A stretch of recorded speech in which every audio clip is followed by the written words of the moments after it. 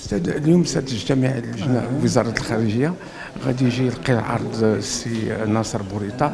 ما هي العناصر الأساسية اللي غادي هذا الاجتماع بطبيعة الحال كيجي من بعد صدور القرار الأممي الأخير في 30 أبريل الرقم ديالو 2468 والإيجابية ديالو الإيجابية ديالو بالنسبة للمغرب. وهذه مناسبة بغينا نناقشوا معاه باش نتصداو للخصوم ديال القضية الوحدة الترابية ديالنا. وأنتم كيف كتعرفوا كاين هذا الوضع الراهن اللي كي في المحيط ديالنا والاستقرار اللي كيعرفوه بعض الجيران ديالنا يعني ضروري من ناخذوا الحيطة والحذر ونعرفوا أشنو كيمكن لنا نساهموا في إلى جانب الدبلوماسية الرسمية واللي على راسها جلالة الملك نصره الله. كاين الدبلوماسية الموازية اللي فيها البرلمان فيها المجتمع المدني والأحزاب اللي مالا الدبلوماسية الرياضية.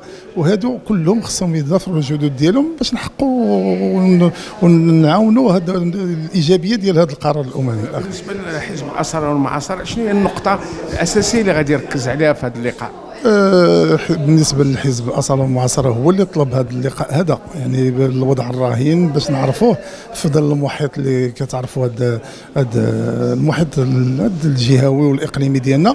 وهنا بغينا يعني نكونوا على الأقل على الأقل كنواب برلمانيين كنساهموا في الدبلوماسية.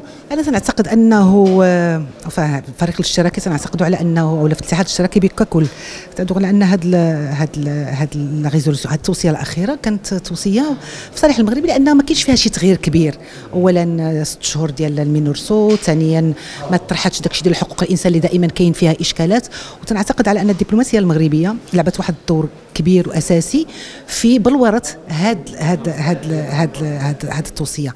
ما يعجبكش السي بوريطا آه حقوق القضية ديال حقوق الإنسان وديال الموجودة في تندوف لأن هناك عدم احترام الحقوق. شوف الآن مؤخرا الاعتقالات اللي تمت في تندوف آه يعني الاعتصامات اللي كاينة آه كاينين الناس اللي كانوا يناديوا بتطبيق الحكم الذاتي كاينين الناس اللي آه كيقلبوا على المساعدات اللي كتجي من الخارج واللي ما كتوصلهمش. كاين عندهم مشاكل اللي, اللي كيطرح حقوق الإنسان بعدا يبدأ براسو.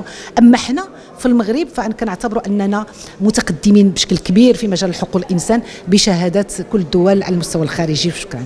ماذا سيعبر عنه حزب الاستقلال في هذا الاجتماع مع ناصر بوريطة؟ وهذا ما شوف هذا ما يعبر عنه، اولا خصنا إحنا اليوم جينا باش نسمعوا. والحكومة غادي تعطينا تقرير حول يعني التطورات الأخيرة حول القضية الوحدة الترابية.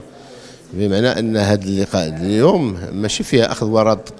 هي هو لقاء للتواصل يعني ولفتح النقاش والحوار بين ممثلي الشعب وتمكينه من أخر المستجدات التي حصلت حول هذا الملف وخاصة بعد اجتماعات جنيف. نعم. هذا الحزب الاستقلال في هذا الاجتماع سيركز على ما يجري في تندوف خاصة في قضية حقوق الإنسان. وبطبيعة الحال هذا من بين الدفعات التي يعني ليس فقط حزب الاستقلال الدفعات يعني التي المعتمد عليها على المستوى الدبلوماسي في هذه القضية وأنه لابد من استحضار الوضع الكارثي اللي تعيشها يعني الساكنة ديالنا في المحتجزين في تندوف لا على المستوى الاجتماعي ولا على المستوى الحقوقي.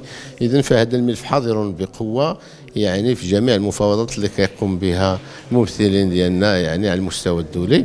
وهذا بطبيعة الحال هذا اللقاء الأساس ديالو هو أنه لابد من تعزيز الدبلوماسية البرلمانية لابد من تعزيز الدبلوماسية. البرلمانية لا يمكن يعني أن تكون إلا مساعدة للدبلوماسية الرسمية اللي كتقوم بها الحكومة من خلال وزارة الخارجية.